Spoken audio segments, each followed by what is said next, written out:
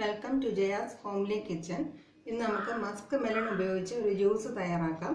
Musk മെലന്റെ പുറത്തുള്ള മഞ്ഞ കട്ടിയായിട്ടുള്ള തോട് മാറ്റിയിട്ട് ചെറിയ പീസായിട്ട് ഞാൻ കട്ട് ചെയ്ത് വെച്ചിട്ടുണ്ട്. ഏകദേശം പകുതി മസ്ക് മെലൺ എടുത്തിട്ടുണ്ട്.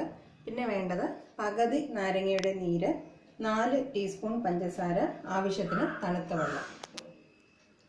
മസ്ക് മെലനും പഞ്ചസാരയും നാരങ്ങ നീരും ചേർത്ത് മിക്സിയിലിട്ട് നന്നായിട്ട് അരച്ചെടുക്കാം. നന്നായിട്ട് ഇതൊന്ന് അരച്ചെടുക്കാം.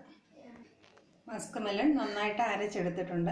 ഇനി ഓരോരുത്തർക്കും ആവശ്യമുള്ള തിക്നെസ് അനുസരിച്ച് തണുത്ത വെള്ളവും കൂടെ ചേർത്ത് ഒന്നുകൂടെ അടിച്ചെടുക്കാം. മസ്ക് മെലൺ ജ്യൂസ് തയ്യാറായി കഴിഞ്ഞു. മസ്ക് മെലണിന് പൊതുവെ ഒരു മധുരം മാത്രമേ ഉള്ളൂ. അതുകൊണ്ട് നമ്മൾ നാരങ്ങ നീരും കൂടെ ചേർക്കുമ്പോൾ അതിന് ഒരു പ്രത്യേക സ്വാദം വരികയാണ്.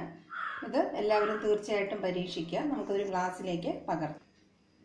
ശരീരത്തിന്റെ ചൂട് കുറയ്ക്കാൻ സഹായിക്കുന്ന ഒരു ഫ്രൂട്ടാണ് മസ്ക് മെലൻ ഇത് നമ്മുടെ ശരീരത്തിൽ ചൂട് കുറയ്ക്കുകയും നമുക്ക് ആവശ്യമുള്ള എനർജി തരാനും സഹായിക്കുന്ന ഒരു ഫ്രൂട്ടാണ് ഇത് തീർച്ചയായിട്ടും എല്ലാവരും വേനൽക്കാലത്ത് ഈ ജ്യൂസ് തയ്യാറാക്കി കുടിക്കുക. Thank for watching my video